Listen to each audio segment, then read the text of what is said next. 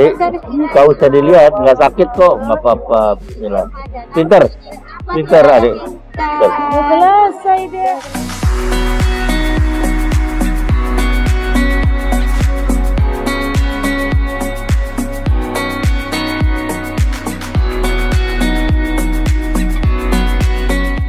Dari yang pertama kedua pakai apa Pak? Sinovac.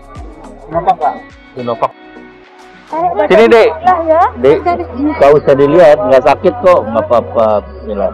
Pinter, pinter adik. Selesai deh. Ya pertama kunjungan eh, pada pagi hari ini itu adalah menun- eh, meninjau vaksinasi yang dilakukan secara serentak dan tadi saya juga melakukan komunikasi dengan SD-SD lain di Pekanbaru. Menurut Pak Wali jumlahnya 10.000 lebih dan itu adalah ada yang vaksin pertama, kedua dan ketiga untuk lansia. Nah, tentu kita dengan adanya Omikron ini kuncinya adalah vaksinasi.